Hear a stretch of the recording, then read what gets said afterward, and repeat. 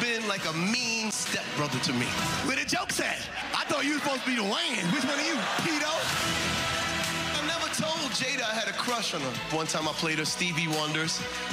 Too shy to say. And then she played me back En Vogue's Never Gonna Get It. Latest special, God Loves Me, from the multi-talented Marlon Wayans. The comedian will be at MGM National Harbor next week. But before he hits the stage, Marlon spoke with me about starring in an upcoming Jordan Peele movie, whether he would ever go on Club Shay Shay, and his love for the DMV. I, I went to Howard University. I didn't graduate, so I'm not a bison. I guess I'm just Bice. Um, I went for went for two years. Uh, but you know, DC is like a, a, a, third home for me. You don't let any grass grow under your feet. I feel like every week it's a, a, new project, something else is dropping. You're all over social media, posting, I guess, Cowboy Carter pictures too. I was going to ask you about that, by the way. You know, I, my body's in order, so sometimes I just like to flex an ab or two. well, you are doing it. Listen, uh, you've been at this for decades, your family as well. I mean, you all, I consider a dynasty uh, in entertainment. At this point in your career, how do you like test out jokes? Or are you calling up one of your siblings? Are you, you know, how do you make sure it's what you want to give the people before you hit the stage? At this point in my, my career, I just write on stage. I don't even it's like Jay Z when he writes, he don't write his rhymes down. I don't write my jokes down. I go down, I go on stage with a premise, and on stage, people are literally watching me write. So for the past two specials, I, I wrote, or three, I've written it on stage with just thoughts that I had. And it's beautiful because normally when you write, it's like you only have like your instinct. But when you write in front of an audience, you better be funny because audiences, y'all mean. I don't tell jokes. I tell truth in a funny way.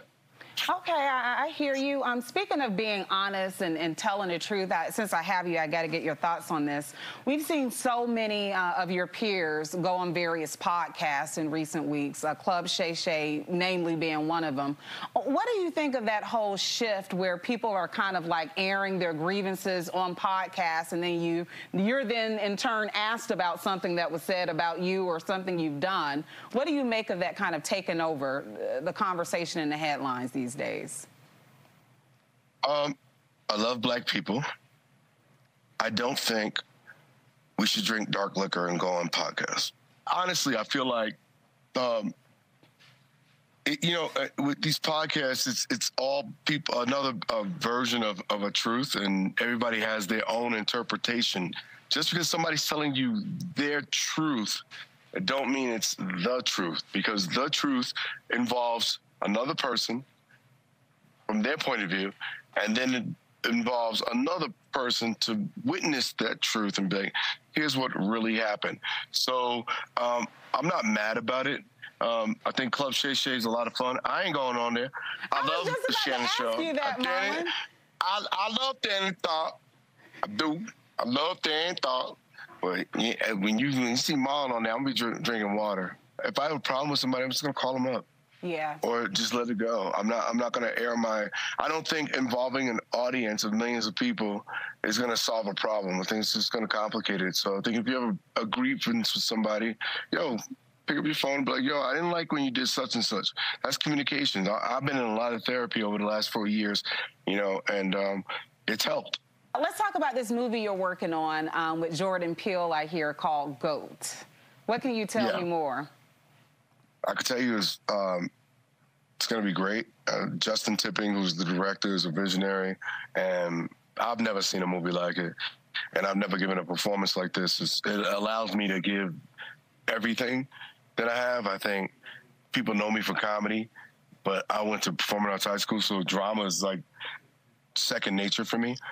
And in this movie, I'm able to do drama, comedy, dark, twisted, heart, hurt, vulnerability, and um, I think it's it's beautiful that uh, Jordan Peele uh, and Monkey Paw allowed me to have this opportunity to go go be my best Marlins. So when I look at Goat, it's not just about the movie; it's about me finding the goat within myself and taking my whole life to the next level. And I just feel like right now, God's funny. He gives it to you when you're ready, and and and now I'm ready. It took me 51 years to be ready, and now I'm ready. He is so profound, and he's right. He doesn't get enough credit for it, but we're ready to watch that movie. If you want to see Marlon earlier, though, he will take the stage May 11th at MGM National Harbor, and we covered a lot of ground, lots of laughter. I'll have much more at 11 on Lion Lunch Hour, including his unconditional love that he has for his transgender son. So we're getting to know more about Marlon, oh. and he gave us plenty of time. Fantastic job, Marissa. Thank you. Thank you. He's hilarious. Yeah, you all were rolling when he mentioned to the club Shay Shay stop laughing.